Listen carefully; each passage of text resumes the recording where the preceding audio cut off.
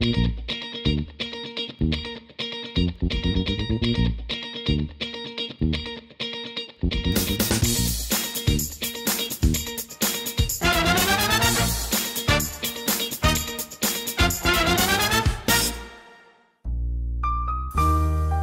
nedelja rata u Ukrajini, Fakultet političkih nauka, mesto koje je osnovao njegov otac, tri decenije posle pada Berlinskog zida i rata u zemlji koju smo oboje doživljavali kao našu.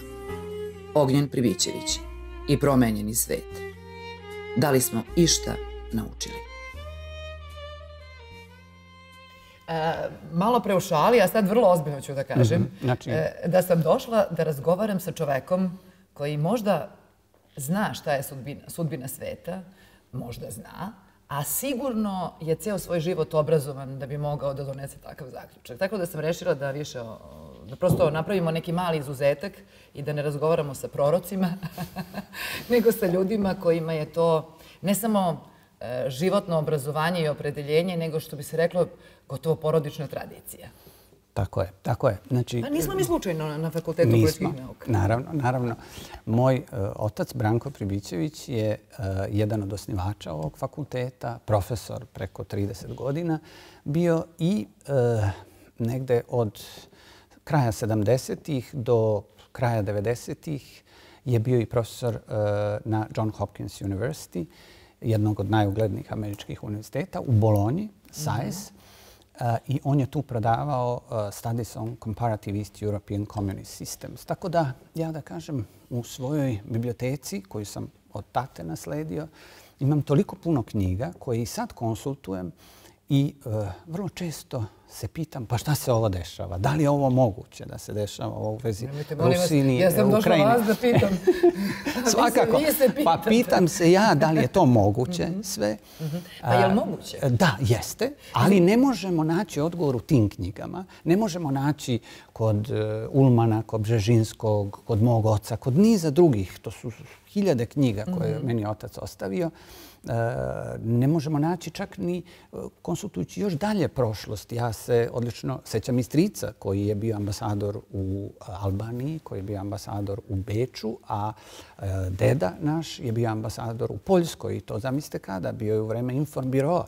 Znači, mi smo u ovome praktično više od 70 godina, pa je onda, pošto je morao da ode kad je bila rezolucija Informbira, mm onda je otišao u Kanadu tamo da bude ambasador. Tako da ja konsultujem, ajmo reći, istoriju tu porodičnu ove knjige i ne, ne možeš naći. Zašto? Zato što je ovo potpuno novo vreme i ne mogu se objasniti ove stvari čak ni kategorijama iz prošlog vremena. Znači, živimo u nekom novom vremenu, novoj stvarnosti koja je zadnjih 20 godina. E sad moram da vas pitam i ovo. E, kad ste sada rekli e, ko je sve u vašem životu e, od dede pa nadalje, a da ne govorimo još nekim Pribićevićima koji su dalje rođaci, ali uglavnom su svi nekako bili ljudi od ideje, bar je tako izgledalo. Razmišljali su. Razmišljali su. Trudili su se da razumeju. Mnogi Pribićevići su zapravo bili spremni da u ime ideje, ideologije ili, tako se kaže, boljitka države i naroda ostanu na nekom svom putu, uprkos tome što to, kako biste ili mi sad rekli, nije bilo moderno, a nije bilo ni korisno. jedan, ste to, jedan od tih Pribićevića ste i vi. E, mogli, ste, mogli ste što šta u životu e, u neko vreme da ste se priklonili nekome? Da. I ja sad moram da vas pitam, je se to uči, to priklanjanje nekome u diplomatiji mhm. ili, ili je to kućno vaspitanje i obrazovanje? Pa rekao bih pre da je kućno vaspitanje i obrazovanje. Da, da prosto moraš imati, ovo što ste rekli, mhm. neku ideju, neki stav, a da kažem, mi smo unazad dve, tri generacije imali vrlo jasan stav gde Srbija pripada. Tu nema nikakve dileme. Gde Srbija pripada? Evropa i Evropska unija. Nikakve oko toga dileme. Ne može da bude, jer nismo u Africi, nismo u Aziji, mi smo u Evropi i e, nikakve tu nema dileme. I ono što je moja zamerka ne ide toliko zašto mi danas nismo. Ja se sećam mene e, posle e, rušenja autoritarnog režima Slobodana Miloševića. Deset godina sam ja proveo kao mlad čovjek boreći se protiv tog režima, tamo 90. godine. E, posle toga puno puta sam govorio u medijima evo mi ćemo ući u Europsku uniju za 4-5 godina, za 3 godine, za 4-5. Mi smo stvarno verovali pa, u to. Apsolutno. Ja sam bio duboko ubeđen da će se to desiti zato što sam smatrao da je nenormalno da nije. Evo danas, 20 i nešto godina kasnije, mi dalje nismo unutra. Postavlja se pitanje je li to naša krivica?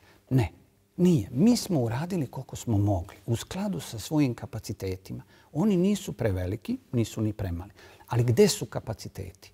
U velikoj Evropi, u velikim zemljama kao što su Francuska, Nemačka, Velika Britanija Ali koja je bila... Ali čekajte, vi ste lično u svim tim zemljama. Da. U nekima ste bili i, I, i ambasador. Jeste, jeste. Sa svim tim ljudima ste kontaktirali. Tako je. Je se nešto promenilo od 90-ih na ovamo? Jesu to isti ljudi? to, to je odlično pitanje. Do skora jesu, gotovo isti. Znate, to kao šta da se svijet nije mijenjao. Kao da se, evo, evo da kažem, recimo, vrlo zanimljivo. Mm -hmm. Ti ljudi koji su bili ovde u ambasadama s kojima sam ja razgovarao 90. godina, Nemačkoj, Američkoj, evo sad Hill dolazi koji je bio u regionu, koga poznajem iz tog vremena, Englezi koji su Britanci, koji su bili u ambasadama, oni su porasli kao što sam i ja porastao, jer nismo više bili u svojim 30. ranim 40. i zauzeli su važne pozicije, ali su isti ljudi, manje više, jako puno istog Čekajte, sveta. Čekajte, je li Marta politička misla misao ovaj, krenula napred? E, vidite, ostala je, tu je glavni problem. O, I to ja stalno, evo sad ću vam reći, stalno u razgovoru, ne samo sa tim ljudima koji su, da kažem, postali neki visoki, pa nisu oni, da kažem, ministri, ali su tu visoki zvaničnici, što se kaže, ali sam razgovarao i sa zvaničnicima kao što je Merkelova u Britaniji sa Johnsonom i sa nizom, da kažem, ljudi koji su važni, ljudi po ministarstvima. I kad god pokrenemo ovu temu, oni kažu da, ali vi treba da obavite svoj zadatak. A šta nam je zadatak? Ne, ali, ali pazite, šta je zadatak? A, šta je a, evo šta je nama zadatak? Naš zadatak je Mislim, prvo... sam da vas pitam iz prve ruke evo, šta, nam je šta je naš zadatak? To je prvo i ono najgore birokratski je otvaranje tih poglavlja. Vi znate, tih poglavlja ima otprilike milion. I onda ja se često šalim, ja kažem, mi ste na milion i 323, 4832 ili 803. On me gleda onako zbunjen. Pazite, to je takva besmislica birokratska. To se tako ne radi. I stalno se vraća, vi niste ispunili ovo. Ja ne znam kako se za ribarstvo, za e, poljoprivredu, za pravu i tako da. Ali čekajte, Ognjene, vi sad meni pričate da, se s ljudima koji poznajete već 20-30 godina, vi se uvažavate. Tako je. E, vi, vi znate o čemu govorite. Tako je. E, ja vas sada pitam, ja nikada nisam čula da ste vi išli okolo pa pričali da su to vaši prijatelji i da će to prijateljstvo doneti nama bolje sutra. Pa ne može da donese Mislim, bolje sutra. Ne može da. pitate? Da li vas neko ne, pita? Pa ne, tamo da. Oni pitaju za mišljenje. Pa pitaju me ovde, vidite da sam često i govorim. E sad, druga stvar je da se sluša. E, ali samo ovo da, da vam vrlo bitno, ključnu stvar. Zašto je to tako? Zato što im ja kažem. To nije stvar poglavlja, to je stvar geografije, to je stvar desi. Je li Srbija u Evropi isto koliko i Portugalija? Znači vi imate odluku da donesete političku koja je odgovorna. Odluka da primite Srbiju sa Kosovom u Evropsku uniju, pa ćemo videti. Pa onda ajde da pričamo o tome za Kosovo, da li da bude u statusu Tirola, kako se možda da bude, ali u Srbiji, Južni Tirol, pa Hong Kong, pa ima milion modela. O tome se pričalo pre 20 godina puno. Ovde na ovom fakultetu Predrag Simić, dekan fakulteta i kum moj, eh, profesor Bataković, oni su davali, ja uz njih koliko sam mogao, bili su i stariji, pametniji, obrazovaniji od mene i gledao sam kakve su oni predloge davali. Ništa se to nije uvažavalo. A to je, pa, to je, to je zapad. problem? Zapad, zapad ili evo, i zapad. Zapad, jer kako? Oni kažu ne možemo mi tako. Ali čekaj, šta se desilo sa Rumunijom i Bugarskom? Ja u šali kažem, verovatno da u Vašingtonu, kada su shvatili da je to teritorija, da je to strateški interes, još danas mnogo veći nego što je bio, oni nisu ni obavestili Brisel da su ovi unutra. Razumete? Ali to je polušala. Samo je donešena odluka, vjerojatno na nacionalnom savjetu, ove dve zemlje su unutra. Sada kada ovo pričate, da on trenutku dok nas ljudi gledaju i slušaju i kažu, tačno, eto, pa znao sam. Pa. Znao sam da su ti Nemci i ti Englezi Glezi. uvek nama bili neprijatelji i zato ja sada gledam u Rusiju i Kijev. Da, pa ko netačno, netačno. E, to, e, to je apsolutno netačno. E, to, nije nije neprijatelj, nema neprijatelja, samo interes. Šta su srpski mitovi? Evo ovo sad što govorimo, sve su to mitovi. Da su ovi prijatelji, da su ovi neprijatelji, da su uh, Rusi prijatelji, da je Zapad ne... Ništa od toga nije tačno. Samo interes. Samo gledaš interes. Kako čiji su prijatelji Rumuni i Bugari? Čiji su oni prijatelji pa su preko noći ušli? Nedostatak strateškog razmišljanja, a u našem, znači on očigledno nema razmišljanja, nema strategije šta da se radi sa Evropom i, da, i šta si napravio? nešto što je prirodno tvoja. Kad kažem tvoja, to je evropska teritorija. Ti pustiš da ulaze druge dve velike sile. Da li su oni neprijatelji? Nisu. Pa vi ja da vidimo ovdje neki prazan prostor, tamo neke čokolade, ušli bi unutra da uzemo torte, čokolade, lepo, neke sendviče. Iskreno kažem, ja ne bi... Pa ja bi, ja volim da jedem, tako da... Ja bi se plašila. Ja bi se plašila da bi me neko uhapsio. Ne, ali čekajte, teritorija je... U, u politici nema praznog prostora.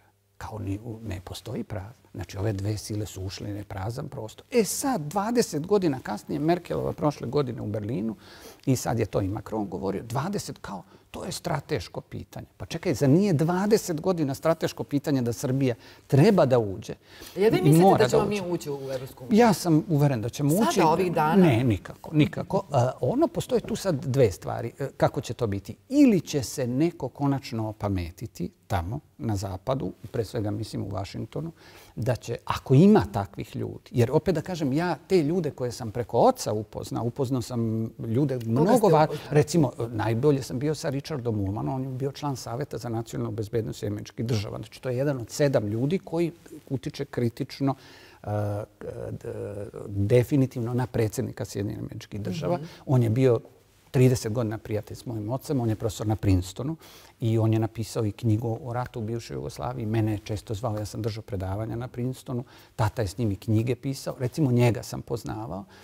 I e, to je bio neverovatan intelektualac, neverovatne širine, ali takvih je bilo desetine ljudi. E, bojim se da je takvih sve manje. Hoćete da, se sve da mi manje... kažete da sad u ovom trenutku planetu vode ljudi koji mnogo manje obrazovanja imaju, koji su mnogo kako bih rekla, uskih shvatanja tako je. U ono, tako je. Iz e, onog vremena iz onog kada vi pamtite e, neku tako diplomatiju. Je. Kad ja pamtim i diplomatiju, pamtim odlično svog strica, kakav je bio on ambasador. Da, da, ne sjećam se Radeta Pribićevića u, u Poljskoj i Kanadi, jer eh, to je bilo i preno što sam se ja rodio. E sad, samo ovo, zašto ovo što kažete, zašto s takvog vremena nema više? Evo sad ćemo odmah da Mislim, da li evo, evo rješenje. tome da je ne, moguće vratiti ne, to vreme? I to je, da li je to nije vreme bilo bezbednije nije, nego ovo nije, sada? Jeste, bilo je bezbednije. Sad ćete vidjeti za, šta je simbol novog vremena u politici? Trump.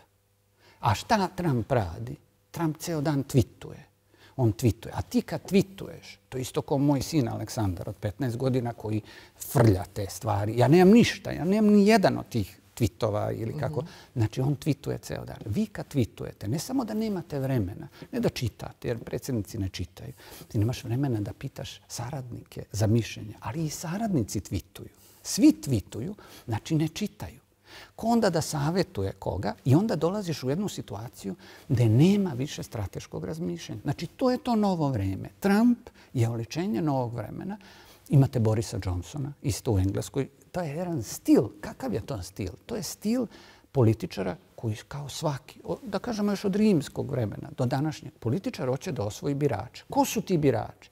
U velikom broju to su reality birači. Šta rade reality birači? Šta rade ovi tweet birači? Takvih ima preko pola. Oni ili tweetuju ili gledaju reality show. Šta mi radimo u toj celoj priči? Kad sam pitala da mit, šta je srpski mit, Samo jedna mala fusnota. Mitove imate i u Americi, imate i u Britaniji. Mit Britanije da je i dalje velika, evo, e, e, imperialna sila. Pobeda Brexita i Johnson, e, glavni, da kažem, naslov jeste da ponovo Britanija igra globalnu ulogu. Može li igrati? Ne može. Zato što ima društveni proizvod 2 triliona, a Kina ima 18, Amerika 22. Samo to u Americi misija Znači, mi smo tu da proširimo ljudska prava, demokratiju. Kod nas mitove imamo od kosovskog mita. Nacije moraju da imaju mitove. Mi na nečemu moramo da postojimo. Ali postoji niz potpuno pogrešnih gledanja, a što je najgore u našem slučaju, samo se okreneš ovako i sve je suprotno. Evo, recimo te 90. godine. Mi smo ispali, ja sam to verovatno sto puta pričao na televizijama i, i učestvo u debatama i vrlo žestokim do... Mi smo ispali iz koloseka. Zašto? Zato što se tada rušio komunizam, Evropa se ujedinjavala. Mi smo tada, sa rukovodstvom koje smo imali, otišli u potpuno suprotnom pravcu. Prvo i najvažnije, zadržali smo taj naslov boraca za komunizam. I gledajte, ceo svet ga ruši. Je to zakazala diplomatija? Ne, diplomatija. Tu je celo društvo zakazalo. Ali imamo jedan veliki problem koji je u velikom meri provocirao to sve što se desilo, a to je nerešen problem Kosova i Metohije. Ali koja mi je naša... imamo i sada. Imamo ga i sada, naravno. Ali uh, tad je tadašnje rukovodstvo došlo na vlast koristeći to, koji je problem je apsolutno postoje, ali nije dobro rešen. Ali je Kosovo i sada tema Tako je, za, da, za osvajanje, da, pa to je osvajanje to. vlasti. Pa nažal, dobro, nije više za osvajanje vlasti, ali je Ali je tema, ali, mora da bude. Kao što je Jerusalim, kao što je Velika Britanija ima svoja pitanja, ima Kipar. Znači, mi, ne, ne možda nemaš problem, ti ga možeš da ga rešiš. Evo kako bi Kissinger rešio taj problem, pa da se vratimo na ovo. Kissinger je rekao, ako ne možeš da rešiš problem koji imaš u maloj kockici, ti malu kockicu stavi u veliku kockicu. Šta je za nas velika kockica? Evropska unija. Da li mi to možemo sami? Ne možemo. Ko je tu kiksirao? Oni su kiksirali zato što nisu shvatili da je to njihov problem. Mi u ovaj ceo region izvan Evropske unije, drugi ulaze, ulaze Rusi i Kinezi. Samo da se vratimo na jednu stvar. Mitovi. Mi, čim se okrenemo iza Ćoška, umjesto da gledamo dve stvari, mi smo pobednici. I to je, to je meni najstrašnije, ja to stalno govorim. I, i u, u kolegama i drugovima, mi smo pobednici, veliki pobednici u oba svetska rata. Naravno, odmah iza velikih tih 3, 4, 5 država, naroda, ali u drugom svetskom retu, recimo, odmah tu zajedno sa Poljacima. Tu smo u 5, 6 nacija koje smo čak da kažem, rangu i više od Francuza. A nas to političari... Uh, ja ne znam šta je to. Jer nas to ne... političari stalno ja teraju da mislimo da, da smo krivi, da, da smo, nešto, mali, nikako, da smo... Da, e, upravo to. Umjesto da mi svako jutro se budimo s tim, sa osjećajem da smo pobednici i u prvom i u drugom svetskom ratu, apsolutni pobednici. Mi imali smo u drugom svetskom ratu taj ideološki problem koji je postao između dva pokreta, da.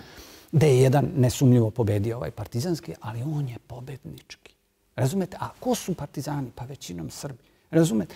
Imali smo i drugi pokret, četnički pokret, pa smo ih sad da, nekako da. i pomirili i trudimo se da to pomirimo, e ali mi smo pitanja, pobednici. To je ono što je osnovno. Još nekoliko pitanja. Jesmo li mi, a da budemo kratki, da. jesmo li mi a, sada, zapravo, da li nas je, da li nas, je, da li nas kao narod, ili, da, baš kao narod, više košta, dakle i našu sadašnjost i budućnost posebno, više košta naša loša spoljna ili naša loša unutrašnja politika?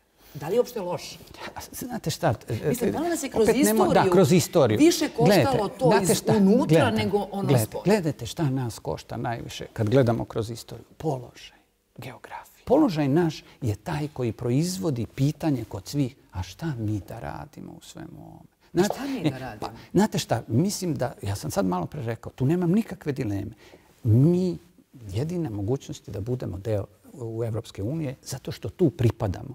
Mi to, u ostalom svaka vlada posle 2000 se za to ali zalagala. Ali vidite, vidite, na svim tim mitovima neko profitira. I spolja i unutra. Šta radi ta naša diplomatija? Pa, znate šta, ja dok sam bio ambasador, bio sam i za vreme Tadića i za vreme Vučića sam bio ambasador. Moram da kažem da svi ti napori su apsolutno na pravcu dva osnovna strateška cilja. A to je da uđemo u Evropsku uniju i da sačuvamo svoj teritorijalni integritet. To su dva glavna Dobro, cilja. E sad, 2015. sad? Da, sad sam bio do, do, do 16. Pa verovatno se da. Jel može nešto se. da se menja? Da, može, ali vrlo malo u odnosu na ovaj položaj. Sve njih koji vode boli glava a sad sve boli glava nenormalno od ovoga, jer nema gore pozicije za Srbiju od ovog što se desilo. Pazite, u ovom geografskom položaju, koji je toliko kompleksan, zbog našeg pitanja. Znači, mi hoćemo u Evropsku uniju, hoćemo da zadržimo teritoriju. Ključ svega jeste dobri, mirni odnosi između Zapada i Rusije. A sad, ja se sjećam u svojim radovima, sad su izašli. Ja kažem, ukoliko bi ti odnosi bili zaoštreni, to bi sužava naš prostor da se provučem. Ovo nije zaoštreno. Ovo je počeo rat. Pa gde ćemo? Razum? Ovo što sad radimo, mi, znate, gde ćemo? Evo, gde ćemo? Osuda agresije na Ukrajinu, očigledno kršenje međunarodnog prava, agresija, invazija na Ukrajinu. Mi smo se solidarisali sa tom izjavom, osuđujemo to, štitimo teritorijalni integritet Ukrajine. Šta drugo da radimo? Ali mi sankcije Rusiji uvesti ne možemo. Zbog našeg problema, je li to moguće? To je veliko pitanje. Sve će prostor biti uži ukoliko se bude sukobljavao. Šta bi rekla Margaret Thatcher danas da je? Margaret Thatcher je bila mnogo bolje poziciji zato što uzmite Falklandi kako su bili. Da, ali vi ste ja sam, jeste, ja sam Koga ste još od tog sveta upoznali? Ja sam, uh, kao mlad čovjek koji se borio protiv autoritarnog režima Slobodana Miloševića, bio sam pozvan na kongres u Brighton konzervativne partije. 90. godina. Ona je bila počasni predsjednik godinu, dve dana već nije bila premijer i završava se kongres i ja čujem može li e, Ognjen Pribićević da uđe u jednu prostoriju. Ja uđem, tu puno ljudi, neke kamere i kaže sad će vas primiti gospođa Tačer. Ja tad možda 32-3 godine, potpuno šokiran da kažem Margaret Thatcher, šta god neko misli, a vrlo je kontroverzan mhm, lider, vrlo mhm. kontroverzan. I ona do, pojavi se sa onim svojim očima, onako snažna. Tu je taj duh, vidite, taj jak pobednički duh. A to mi sve imamo. Ja ne znam, to ne mogu ja da objasnim zašto mi to ne koristimo. Jer ona je pobednica u svim, da kažem, tim ratovima. Ne ona, nego Britanija. Ona, je čak ona oličava to. Znate, ta jedna pogled čelič, baš je čelična lady, taj razgovor se završava i ona meni kaže, ajmo sada se slikamo. Ja kažem, ma nemate vi vremena, gospođa Tačer. A ona meni kaže, stani mirno, mladi čoveče. Ja se ovako ukočeno tu, tu, tu, tu s kamere. I ona za 15 minuta dolaze, donose mi te slike koje sam ja onda objavio našoj tada borbi se zvalo pa kod pokojnog Ćuruvije u Telegrafu. Jer ja pitam, ona mene, a znate vi šta ćete sa slikama? Ja sam teo reći, pokazat ću tati, jel? Razumete, i familiji. Jel? Ne, ona kaže, ne, to morate da date slika, jer slika govori više od bilo čega. I tad sam naučio koliko je važna slika. S kim ste si još onda slikao? E, da, slikao sam se naravno ovaj, više puta sa Merkelovom. Najinteresantniji susret opet sa Samo njom. Samo se sa ženama slikate, to sam primetio. Tako je. Ne znam, je li to ovaj deo vašeg šarma ili... Pa ja se nadam da je deo šarma. Ja se nadam da je deo šarma. Ili prosto analize. Za, za, za, za gospođu Merkel, naravno, e, više tih razgovora o ovim temama o kojima smo govorili i njoj sam isto u jednoj prigodnoj situaciji isto to govorio, da, da Nemačka mora nas da uključi, zato što je to u njenom interesu, ali ono što me je fasciniralo, a što naravno je fascinantno, e, sa e, svojim suprugom i sa sinom stojim u redu u jednoj velikoj prodavnici sa kesama, čekam da dođem, ima više redova, ja pogledam, ona stoji do mene čeka sir. Ko danas se sećam, drži u rukama sir. I čeka kao svi drugi građani da dođe na kasu. Naravno, bacivši pogled levo-desno, pošto sam već bio diplomati ambasador, znam da su tu momci.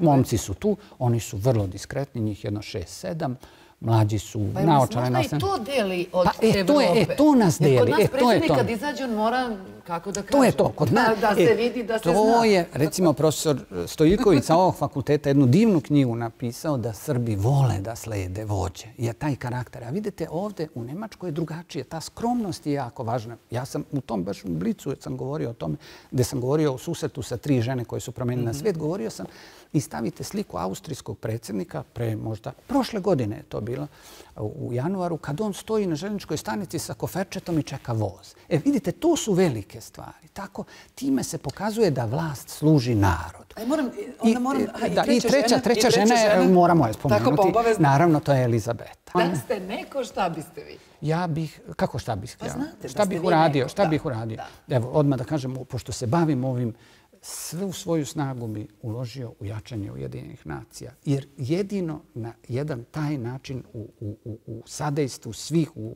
dogovoru nacija, može se nekakav dogovor postići. To je prva stvar, prvu tu stvar. A druga stvar, gledao bih koliko je to moguće, ako je moguće, ne verujem da jeste, da ove moderne tehnologije stavimo u nekakvu funkciju. Moramo se ozbiljno pozabaviti i mobilnim i kompjuterima i svim ovom tehnologijom da ona ne vlada nama, nego mi njoj. To su dve stvari. Ujedinjene nacije, evo te dve stvari bih radio. Diplomatiju. Biste ukinuli propagandu? To je nemoguće. To je u ljudskoj prirodi. Hvala vam. Hvala vam.